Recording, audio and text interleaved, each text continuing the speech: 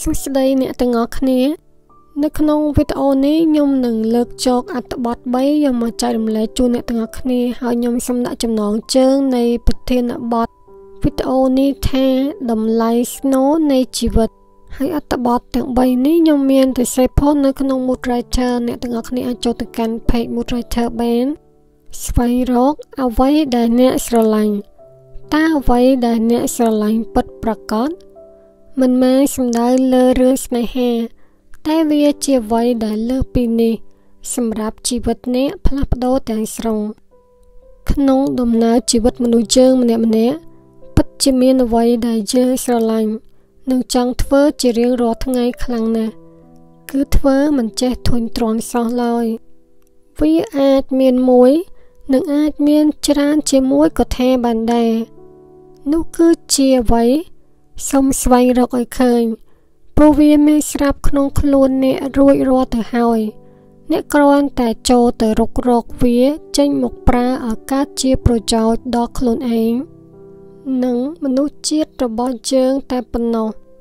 កុំខ្វល់ពីសម្ដីនិងទស្សនៈរបស់អ្នកដទៃដែលវាតម្លៃលើអ្វីដែលអ្នកស្រឡាញ់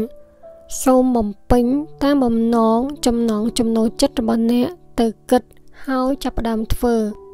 ហេតុអ្វីត្រូវយកអ្វីដែលអ្នកដតីមិនទាន់ស្គាល់ច្បាស់ពីអ្នកយកមកគិតប្រសិនបើអ្នកបានជ្រើសរើសធ្វើអ្វីដែលអ្នកស្រឡាញ់ចង់ធ្វើ ហើយមិនមានប៉ះពាល់ដល់អ្នកណាសូមបន្តធ្វើវាកុំឈប់ព្រោះអ្នកជាអ្នក មានតែអ្នកប៉ុណ្ណោះដែលដឹងថាអ្វីជាទេពកោសលពិតប្រាកដ អ្វីជាការងារដែលអ្នកស្រឡាញ់អ្វីទៅដែលធ្វើឲ្យអ្នកមានអារម្មណ៍ធូរស្រាលចិត្តសប្បាយរីករាយនៅពេលធ្វើវានិងធ្វើមិនចេះធុញនោះកាលណាអ្នកស្វែងរកឃើញភាពខ្លាំងរបស់អ្នកបានកាន់តែឆាប់ប៉ុណ្ណាភាពខ្សោយរបស់អ្នកកាន់តែលែងមានប្រសិទ្ធភាពបង្ហាញស្រមោលឲ្យអ្នកបានឃើញទៀតហើយពេលនោះអ្នកនឹងមានអារម្មណ៍ជឿជាក់លើខ្លួនឯង ជីវិតអ្នកក៏ទទួលបានពាក្យថាជោគជ័យភាពស្ងប់ក្នុងផ្លូវចិត្តនិងបង្កបង្កើតពេញលេញក្នុងចិត្តរបស់អ្នកជារៀងរាល់ថ្ងៃចូលស្វែងរកឲ្យឃើញអ្វីដែលអ្នកស្រឡាញ់ចូលស្រឡាញ់ខ្លួនឯងឲ្យបានច្រើនចូលអភិវឌ្ឍភាពខ្លាំងរបស់អ្នកស្គាល់ខ្លួនឯងថាជាអ្នកណា មនុស្សមួយចំនួនស្គាល់ត្រឹមឈ្មោះរបស់ខ្លួនឯងតែប៉ុណ្ណោះតើវាមានអ្វីខុសប្លែកការស្គាល់ខ្លួនឯងត្រឹមតែឈ្មោះគឺរស់នៅបែបដដែលដដែលព្រោះឈ្មោះតំណាងឲ្យបុគ្គលម្នាក់ម្នាក់ប៉ុន្តែมันបានសម្ដែងពីធាតុពិតនៃផ្នត់គំនិតខាងក្នុងរបស់មនុស្សម្នាក់នោះបានឡើយពេលយើងស្គាល់ខ្លួនឯងច្បាស់យើងក៏រស់នៅតាមរបៀបនោះដែរ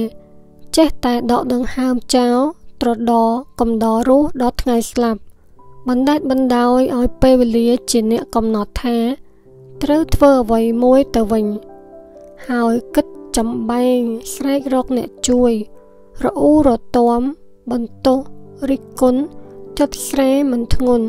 ទន្ទិញតែពាក្យអវិជ្ជមានជាប់នឹងមាត់រាល់តែថ្ងៃតើជីវិតបែបនេះ មានន័យដែរឬទេ ភ្ញាក់ខ្លួនឡើងវាមិនតាន់ហួសពេលទេ បើនៅមានដង្ហើមដកជើងនៅតែមានឱកាសដើម្បីផ្លាស់ប្ដូរខ្លួនឯងបើសិនបើជើងជោគពេលវេលាក្នុងមួយថ្ងៃមួយថ្ងៃ ស្វែងយល់ពីខ្លួនឯងឲ្យកាន់តែច្បាស់នោះជើងពិតជាអាចដឹងបានថាខ្ញុំជាអ្នកណាចម្លើយមានក្នុងចិត្តជើងម្នាក់ម្នាក់ហើយវាជាអ្វីដែលយើងមាន តែអ្នកដតីគ្មានទេ វាជាអ្វីដែលព្រះប្រទានមកឲ្យអ្នកសម្រាប់តែអ្នកម្នាក់គត់ធ្វើវាឲ្យបានសម្រេចក្នុងជីវិតរបស់អ្នកពេលយើងរកឃើញខ្លួនឯងជាអ្នកណាឲ្យពិតប្រកបដោយបានកំណប់ដ៏មហាសាលជាទ្រពដែលចាយយ៉ាងណាក៏មិនចេះអស់ជាអ្វីដែលធ្វើឲ្យដួងចិត្តយើងស្ងប់សុខមិនប្រៀបធៀប មិនវាយតម្លៃលើអ្នកដតីថាល្អឬអន់ជាងខ្លួនព្រោះយើងគឺជាយើង ហើយគេគឺជាគេ មិនដូចគ្នាទេដូច្នេះគ្មានអ្វីមករំខានយើងនាំឲ្យខាតបង់ពេលវេលា ស្គាល់ពីខ្លួនឯងធ្វើអ្វីដែលជាគោលបំណងសម្រាប់ជីវិតរបស់យើងចូលរកអ្វីដែលពិសេសក្នុងខ្លួនយើងឲ្យឃើញ ហើយវឹកហាត់វា ដើម្បីស្គាល់ខ្លួនឯងថា ជាអ្នកណាប្រើប្រាស់អ្វីដែលអ្នកមាន មនុស្សយើងចូលចិត្តសម្លឹងរកមើលអ្វីដែលខ្លួនមិនមាន ជាជាងសម្លឹងរកមើលអ្វីដែលខ្លួនកំពុងមាន បែបនេះហើយទើបធ្វើឲ្យយើងពុំមានសេចក្តីសុខព្រោះតែចិត្តមិនដែលនឹកដឹងគុណ និងប្រើប្រាស់អ្វីដែលខ្លួនឯងមានឲ្យកើតជាប្រយោជន៍សូមឈប់ប្រអ៊ូរទាំ គួរតែអង្គុយគិតពិចារណាឡើងវិញតើយើងមានអ្វីខ្លះនៅពេលនេះ អាចធ្វើអ្វីខ្លះបាន ពេលណាយើងគិតបន្តិចនោះយើងនឹងរកបានចម្លើយតែបើយើងមិនព្រមបើកចិត្តប្រើប្រាស់ធនធានដែលយើងមានទេនោះ ចិត្តយើងនឹងខ្វល់ខ្វាយរវល់រាល់តែថ្ងៃគ្មានថ្ងៃណាអាចចាប់ផ្ដើមជំហានណាមួយបានឡើយមានលេសច្រើនពេកលេសគ្មានលុយលេសគ្មានពេលវេលាលេសនេះលេសនោះលេស100ចំពុកតែម្ដងបើយើងស៊ូនៅស្មុគស្មាញធ្វើមុខក្រញើដោយគ្មានអ្វីដែលសមអំណងហើយគិតថាខ្លួនគ្មាននេះគ្មាននោះ ធ្វើមិនកើតវាដូចជារាំងស្ទះនាំឲ្យយើងខាតបង់ពេលវេលាច្រើនណាស់ដូច្នេះហើយយើងគួរគិតឡើងវិញ ដើម្បីប្រើប្រាស់ចិត្តគំនិតរបស់យើងរៀបរយធនធានអ្វីគ្រប់បែបយ៉ាង ដែលយើងកំពុងតែមាន ដែលជួយឲ្យយើងផ្លាស់ប្ដូរស្ថានភាពពេលនេះបានឈប់ខ្វាយខ្វល់ច្រើនពីអ្វីដែលអ្នកមិនទាន់មាន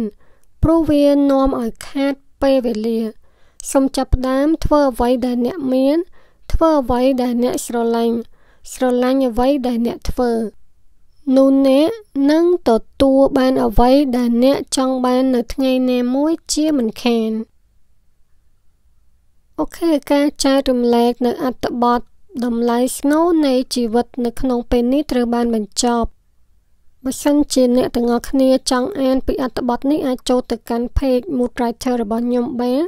ហើយបើសិនជាអ្នកទាំងអស់គ្នាចង់បានសិភៅអានអាចចូលទៅកាន់ page របស់ខ្ញុំដែលមានឈ្មោះថាអានសិភៅជួយពង្រីកគំនិត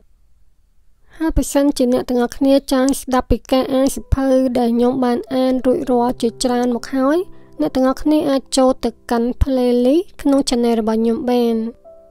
ឬក៏ចុចនៅខាងក្រោមវីដេអូនេះខ្ញុំមាន recommend ទៅកាន់ការអានសៀវភៅជាច្រើនដែរអរគុណអ្នកទាំងអស់គ្នាដែលបានតាមដានស្ដាប់តាំងពីដើមរហូតដល់ពេលនេះសូមអរគុណសូមសំណាងល្អទាំងអស់គ្នា